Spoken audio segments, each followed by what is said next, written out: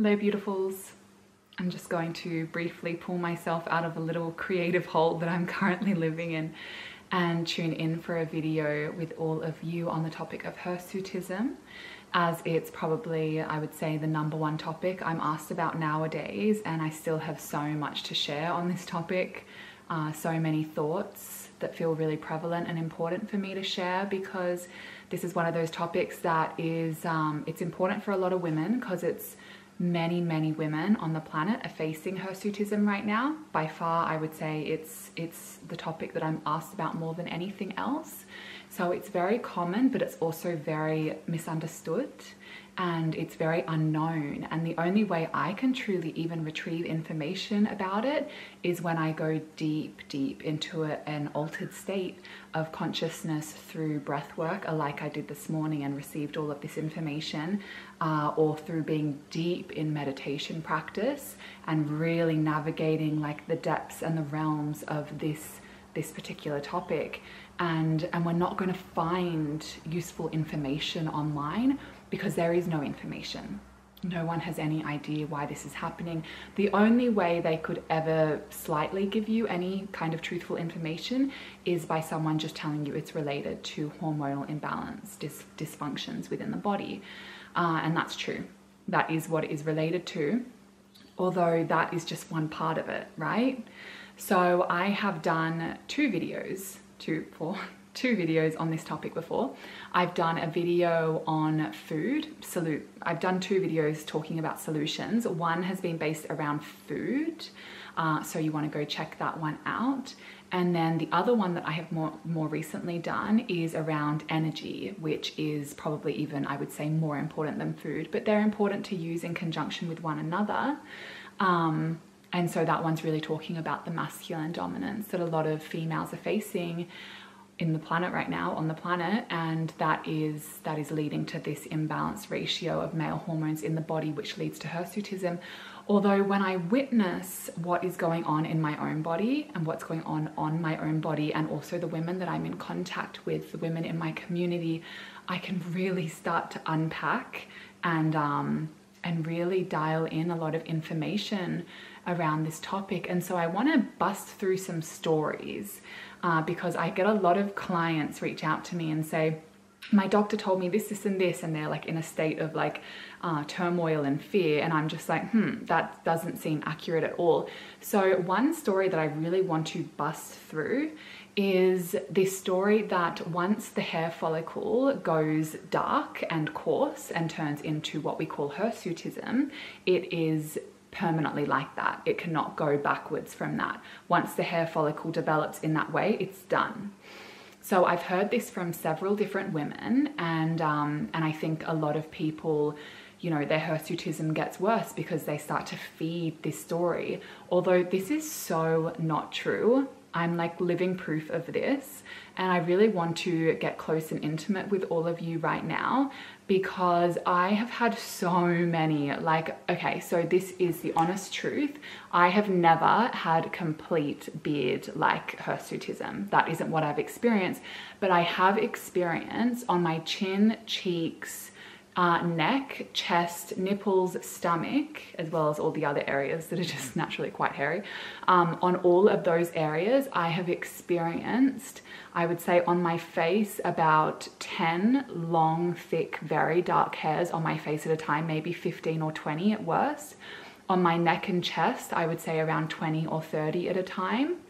Um, and oftentimes it can just be like quite a few going down that are quite long and dark and then probably 20 or 30 on each of my nipples at a time. So my hirsutism, it wasn't like full on, you know, like what a lot of you are experiencing, but it's the same thing, you know, it's the same condition. If it's showing up in this way and then it's showing up in a more severe way, there's no difference between those two conditions, my dear there's only this condition that's showing up that we can see that some kind of imbalance of some kind. And so I don't want you to continue feeding any stories that are trying to tell you like that this is it and this is just what you have to deal with now because it's not true. And I want to show you up close and personal. So I had this all over my my face. Like I had quite a few on my cheeks and you can like really see my face right now. Like let's get up there and personal. And on down here, this was all like the bottom of my chin when I was diagnosed with PCOS was all like this as well. And then down here, and then also all over my chest. So I really want to get like up close and personal and show you that from that perspective because you can see there's there's nothing there like there's literally nothing and if a dark dark hair never shows up in this whole area anymore and if a little dark hair did show up on my chest or my nipple I would pluck it and then I noticed that that hair follicle it doesn't grow back so for us to be trying to believe in the fallacy that once it goes dark, thick and coarse, it's going to be like that forever. And that hair follicle is just going to keep on growing back. And like, if we pluck one hair, six more come to their funeral. Like, I just want to bust through all of this. These are all myths. Although, from one perspective, they are also true. Because one who is not committing to a healing path will experience reoccurring symptoms, such as reoccurring hair, like hirsutism. And that's like with anything if you're not addressing it from the root, you're going to keep on getting acne. You're going to keep on getting more psoriasis show up in different areas of the body. You're going to keep on growing darker hair in more areas of the body if the imbalance isn't addressed. And so uh, I really want to also talk about laser hair removal as a solution because um, because a lot of you ask me about this and I touched on it in my initial video, but I want to go a little bit deeper. So my thoughts on laser hair removal for hirsutism I may regret making this video one day once we have more research about la laser hair removal. I've been using laser hair removal for probably probably since I was about like 15 or 16 because I was always crying to my mum that like my legs are so hairy and like my when I grew pubic area I was just like oh it's so hairy and like I just had this like um what is aversion towards being hairy because my dad's a really hairy person.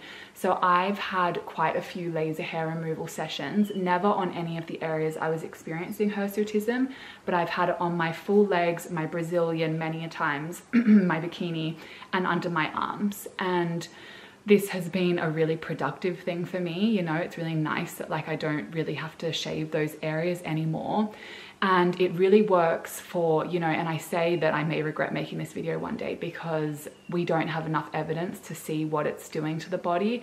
Um, but i'm kind of like a mind over matter gal. I'm kind of like it's all good. Like you know i think that it's fine. And if my intuition ever tells me not to do it anymore which i rarely do probably once every two years um, if my intuition tells me not to do it i'll stop and i'll release that information. But right now i'm not getting a no from my intuition. So i get a session every couple of years for maintenance does this work for hirsutism?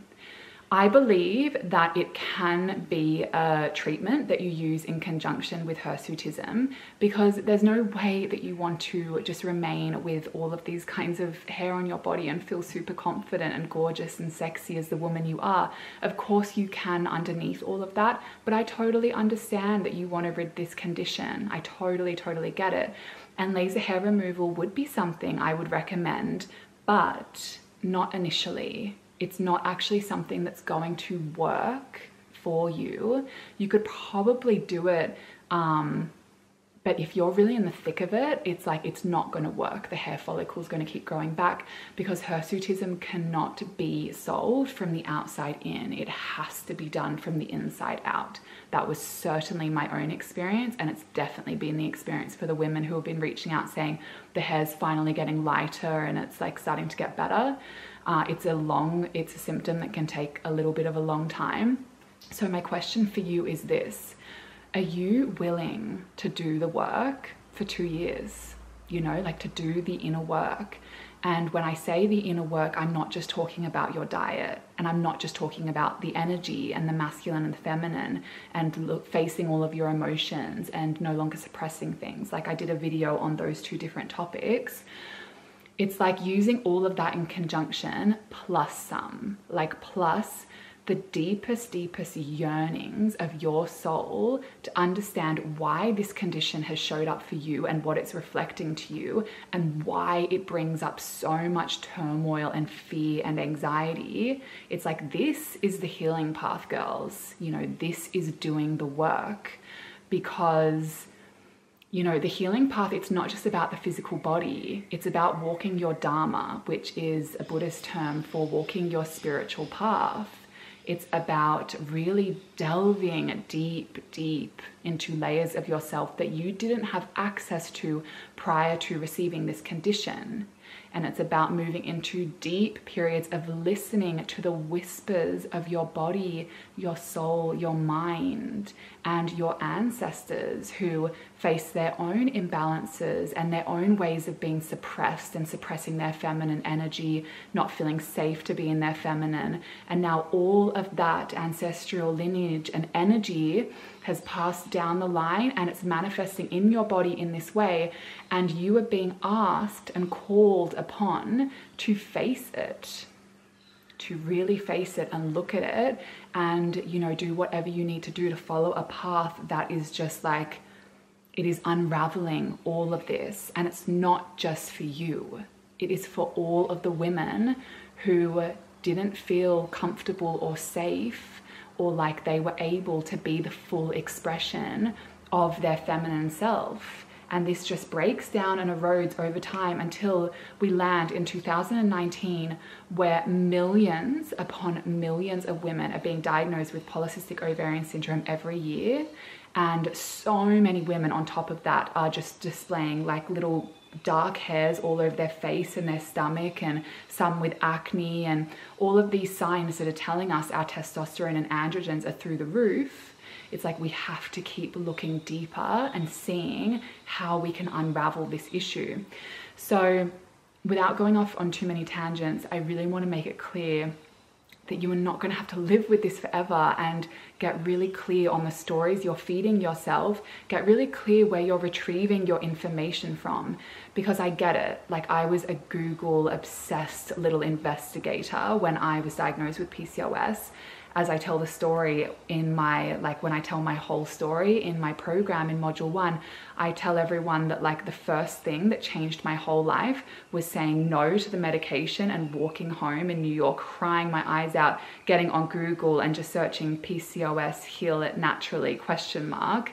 And like that whole Google search was the beginning of a new life for me and a new career and a new way to like fully understand what my body needed. So I get it. It's like our first source of information retrieval. Although at some point, I truly believe that we have to stop going on Google in order to fully heal our body because Google is, it's like the world wide web of facts, of fiction, of information from a thousand million different subjective opinions and the truth is, none of those people can ever tell you what's true and real. And really discern, you know, like if you're reading something or you're listening to a doctor or you're listening to a YouTuber and it's feeling contracted and heavy in your system and you shut off the video, you're like, God, I feel a bit afraid that is your emotional guidance system telling you it is untrue and do not believe what you are hearing because it is fear based energy just feeding your system with more irritation and inflammation, which is just aggravating these symptoms. So you always want to listen to what feels good and what feels expansive in your body and like, oh, like that feels true. You know that feeling when you're like watching something and you're like, God, that feels so true. Like that feels like my truth keep on adopting that and leave out the rest because information is just feeding the subconscious mind. And I create these videos for free for all of you because I don't provide a lot of information in these videos because I like to actually witness you and support you throughout the process. So I do save that for my, my enclosed community. Um, but I do that for a reason. It's not because I don't love you and I don't want to help you. I create these videos as a very important way to open a neural pathway in your subconscious mind that helps your subconscious to go, ah, she did it, I can do it too. And that is the most powerful thing you can ever do for anything you want in your life, including healing your body. Because when your subconscious decides, she did that or they did that, I can do that too. What we can also call an expander or someone who opens the horizons of what's possible. Then, as soon as your subconscious mind makes that decision, everything starts to change because it's not our conscious mind that is manifesting and healing it is the unconscious mind it's the subconscious subconscious limbic part of the brain that is constantly informing the body of like what's going on. And this is firing off all the neurotransmitters to tell your body what hormones and chemicals to secrete. So you can see that when we're constantly in this fear-based mind it's like how do we ever get better we don't because we keep on creating the same reality. We keep on waking up every single day and walking out the door and just creating the same neural pathways and the same reality. Not because that's just the reality that's been bestowed upon us and we're a victim, but because we're not looking at our subconscious mind enough to decide we want something different and that we're going to create something different. So that was a lot of information. I know that's a lot, so just take all of that in. So I'm just looking at my notes. Is there anything else I wanted to?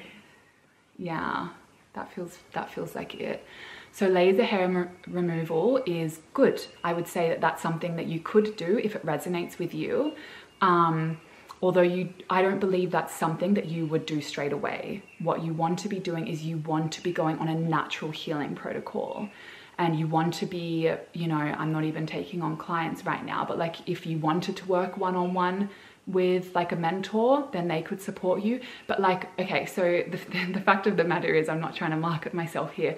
Until I found someone who's combining all these things, I can't recommend, and I haven't found anyone. But it is a mixture. It's cellular detoxification. It's bringing alkalinity in the body. I watch it. When I eat an acidic diet, the hair can go darker. Right now, I'm day um, 16, 17 on a master fast drinking this and and everything's light. It's like my skin's light, my, you probably can't see, my eyes are light, like everything goes light. The hairs on my body super blonde and it's alkalinity. It's just when we're cleaning out the body and we're alkalinizing it, it's like, you know, there's no, there's no such thing as like acne and psoriasis and like all these dense things, you know, like that's imbalance, that's acidosis. So it's cellular detoxification, it's it's balancing energies in your body and really acknowledging that you have seven chakras and energy centers that all need to be working and in alignment because if there's blockages, it's just going to create stagnation in the body and with the hormones. So it's looking at it from like the energetic standpoint, the food standpoint, being it's looking at it from the mind standpoint and really looking at the subconscious mind as I was just talking about. It's looking at doing all of the womb work because a lot of this is manifesting from the ovaries, which is coming from sexual trauma and all of these things. Like you can see, it's complex and it's beautiful and I don't want you to feel overwhelmed by that. I love this healing path. It's like a puzzle of constantly like going, ah, what's going on here? And oh yeah, I wasn't facing myself here and now I can call back that part of self and accept that part of myself that I was always rejecting. And it's like as we do all of this work, there's like fountain of energy and radiance that's like bursting up within us until eventually you look around. I've got goosebumps all over. This is like my truth meter. We look around and we go, oh my God, this body is fantastic and beautiful and perfection. And this life is magnificent and vibrant and radiant and and the mind is the mind like we all have one and it's crazy but it's beautiful and it's your computer system and hardware drive for you to build beautiful memories and to create many more. So we have a beautiful integration of systems here to work with and play with. It's just about bringing them back into alignment. So I'm going to wrap up there. If any of you have questions, just leave a comment and I'll get back to you. I don't always get back to all my comments because I get a lot of them now, but I will do my best. Um, if you want any more information about the program, then just send me an email. Otherwise, I'll keep uploading videos whenever I get the download too. Love you all.